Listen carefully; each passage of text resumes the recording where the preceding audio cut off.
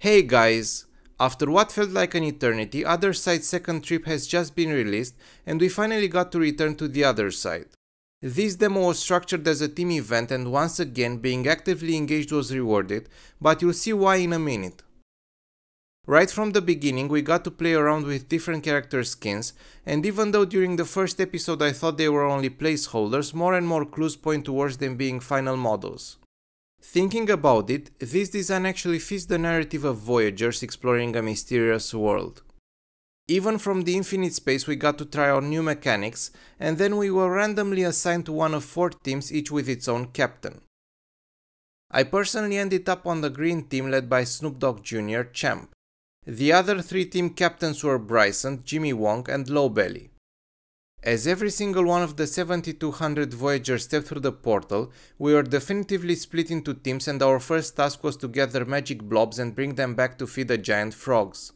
These orange magic blobs were scattered throughout the map and Voyagers had to retrieve them in order to aid the frogs to open the gateway. Each blob rewarded 10 points but there were also giant ones that added a permanent stacking bonus of 10% points. All along the way we had a team leaderboard but some people chose to ignore it and not participate properly in the event. Once the timer ran out and the frogs managed to lower the barrier, we stepped through the portal to the second region where a similar game mode was awaiting us. This time the map was considerably more complex but the goal was the same. Gather as many magic blobs as possible to feed the giant frogs. On both maps you had to use different ramps and power-ups that were also available for testing in the infinite space, and those made the difference between being efficient and wasting time. In addition, giant blobs were spawning on hard to reach platforms, so mastering movement was key to getting a top high score. In the end, it all came down to the last second as the blue and red teams were fiercely competing for the first place. As the event was drawing to an end, meteorites started falling from the sky and apparently those were tied to the 10KTF ecosystem, as Wagmi-san also tweeted this image. People speculate a lot on potential partnerships between Yuga Labs and other IPs, but the one with 10KTF has been confirmed by both parties. As the toads finished eating all those blobs, they opened another portal that drew everyone inside, and we finally got to the third and final zone, the Bone Land, which was the in-game representation of the bone environment from Otherdeed NFTs. After exploring the land for a bit, Curtis announced what nobody was expecting. The team leaderboard did matter and the Blue Glacier team won a helmet cosmetic that would be airdropped directly to their wallets. This goes to show once again that even if you cannot invest capital, you can invest your time and crypto abounds in this type of opportunities.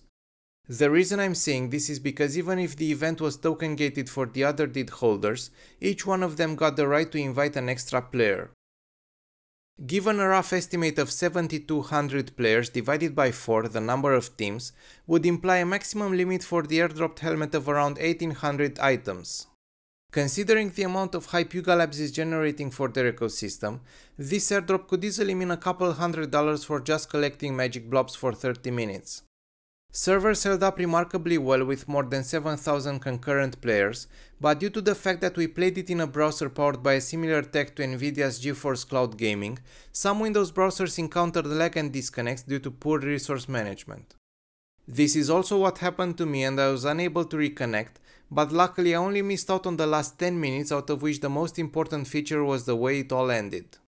After some more jokes from Curtis and some exploration of the Boneland, a giant serpent-like creature surfaced and everyone got teleported back to the infinite space. Overall, I was hoping to get to explore more zones and this is the reason why I personally enjoyed the first trip better, but I also like the team competition from the second trip and I believe it will attract even more players in the future. However, I hope that the upcoming airdrop serves as a wake-up call and people who manage to get in the next demos become more involved in the storyline and minigames. On that note, we should start seeing Otherside trips released more often, so if you enjoyed this video make sure to drop a like and subscribe as I will be covering each and every one of them. Thanks for watching.